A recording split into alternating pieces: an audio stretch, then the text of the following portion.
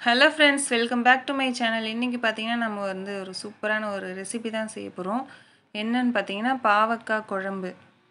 So இந்த பாவக்காய் குழம்பு எப்படி செய்யலான்னு பார்க்கலாம் ஸோ அதுக்கு முன்னாடி நீங்கள் எங்கள் சேனலை புதுசாக பார்க்குறதா சப்ஸ்கிரைப் பண்ணிட்டு பாருங்கள் ஸோ வாங்க எப்படி செய்யலான்னு பார்க்கலாம்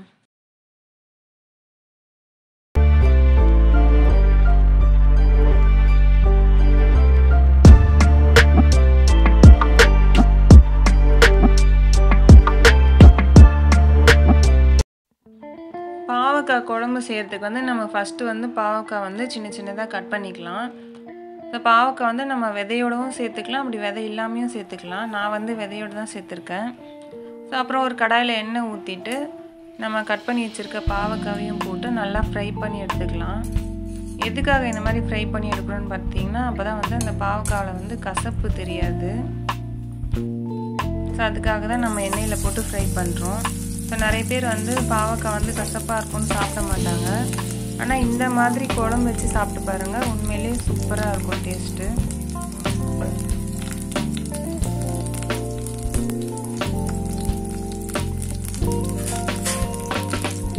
பாவக்காய் வந்து ஃப்ரை ஆகிட்டே இருக்கும். அதுக்குள்ளே வந்து நம்ம குழம்புக்கு வந்து தேவையான வெங்காயம் தக்காளி எல்லாம் கட் பண்ணி எடுத்துக்கலாம்.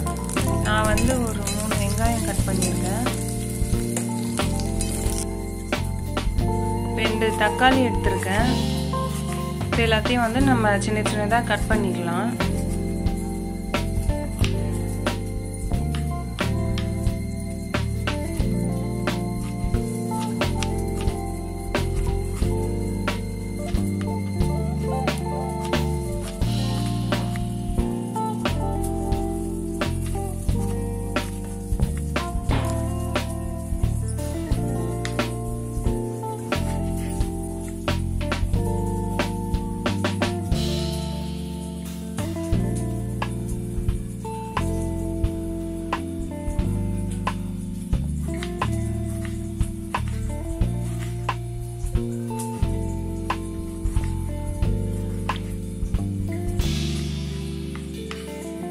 இப்போ வந்து பாவக்காய் வந்து நல்லா ஃப்ரை ஆகிடுச்சு அது வந்து நம்ம ஒரு பிளேட்டில் வந்து எடுத்து வச்சிடலாம்.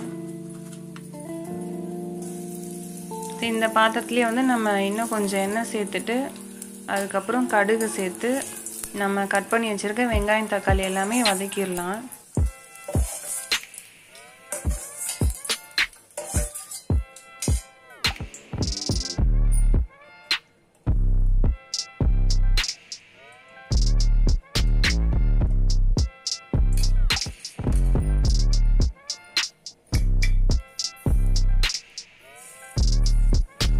கடுகு நல்லா பொரிஞ்சிருச்சு. இப்போ நம்ம கட் பண்ணி வச்சுருக்க வெங்காயத்தை அதில் சேர்த்து நல்லா வதக்க போகிறோம்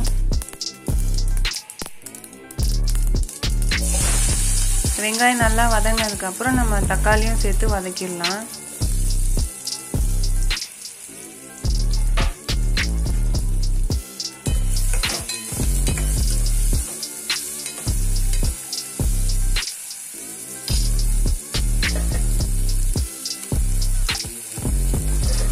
வெங்காயத்துலேயே வந்து நம்ம வந்து ஒரு பத்து பல் பூண்டு உரித்து வச்சுருக்கேன். அதுக்கப்புறமா ஒரு கொத்து கருவேப்பிலை. ஸோ இதையும் வந்து நம்ம வெங்காயத்து கூடயே சேர்த்து நல்லா வதக்கிக்கலாம்.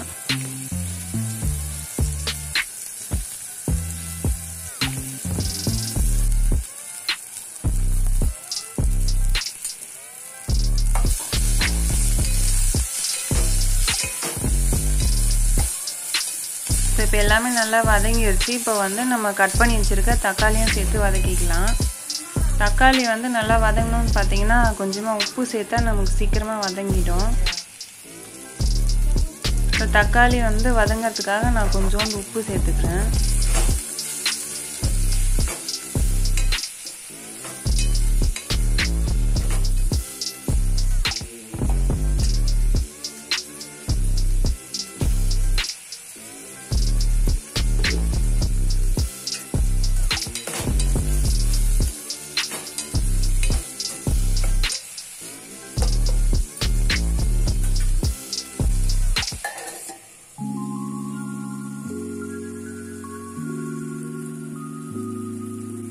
இப்போ வெங்காயம் தக்காளி எல்லாமே நல்லா வதங்கிருச்சு. இப்போ நம்ம வதக்கி வச்ச பாவக்காதையும் சேர்த்து நல்லா வதக்கிடலாம். ஸோ இப்போ இதில் வந்து நான் வந்து கொஞ்சமாக புளி தண்ணி சேர்க்க போகிறேன்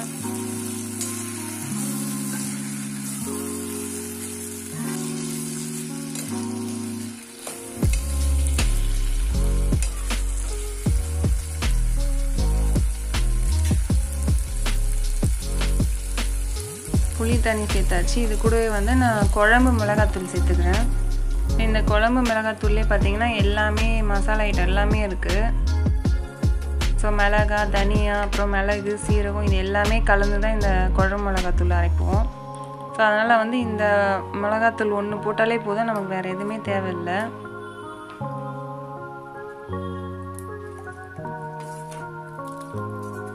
குழம்புக்கு தேவையான அளவு உப்பு சேர்த்துட்டு நம்ம மூடி வச்சு நல்லா கொதி வரட்டும். அந்த பச்சை வாசனை நல்லா போய் பார்த்திங்கன்னா நல்லா எண்ணெய் பிரிஞ்சு வந்திருக்கு. நம்ம பாவக்காய் குழம்பு வந்து சூப்பராக ரெடி ஆயிடுச்சு.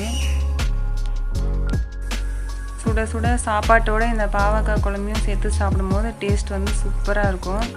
ஸோ இந்த வீடியோ உங்களுக்கு பிடிச்சிருந்துச்சுன்னா லைக் பண்ணுங்கள் ஷேர் பண்ணுங்கள் அப்புறம் மறக்காமல் சப்ஸ்கிரைப் பண்ணுங்கள் அடுத்த வீடியோவில் பார்க்கலாம். பாய்